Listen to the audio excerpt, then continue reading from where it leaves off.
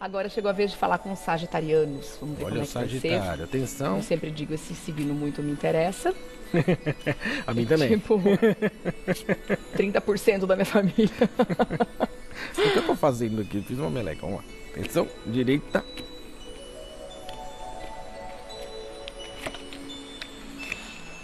Opa.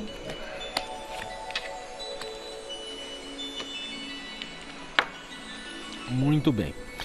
Bom, o relacionamento para o sagitariano é uma coisa que está até meio rotineira, né? E vai continuar um tanto quanto. Então, se você de repente não tem ninguém, a, pre- a predisposição é que você continue por um tempo esperando a pessoa certa. Eu não acho isso ruim.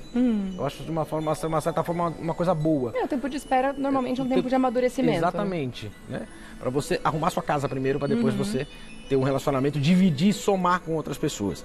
E se você já tem um relacionamento sagitariano, a, in- a intenção realmente é essa do universo, é manter a parada tranquila, para você ter novas perspectivas lá na frente, arrumar a casa em conjunto, Tá. Com o ser amado, tá? Na saúde, a tranquilidade é imprescindível para você. Tá? Por quê? Porque o, âmbito emocional é que pode bagunçar tudo. Tá? De repente você busca muitas honrarias, de repente você busca ser reconhecido em algum aspecto, seja ele qual for, ou dentro de um relacionamento, ou até mesmo dentro do profissional.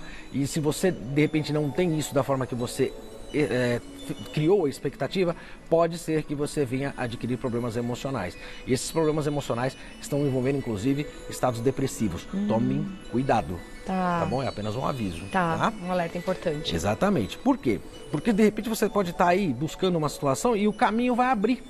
E você não percebeu que o caminho vai abrir. Se você não entra na gratidão, você de repente deixa o caminho, vai passar aquela coisa e você não viu. E aí sim você pode realmente ficar muito triste. Tá? Os caminhos vão abrir, dinheiro vai chegar, oportunidades vão aparecer. Tá bom? Então fique esperto aí, Sagitariano. Tá bom, olha aí, um ano pra prestar muita atenção, olhar pra Exatamente. si, né? Exatamente. E tentar não estressar.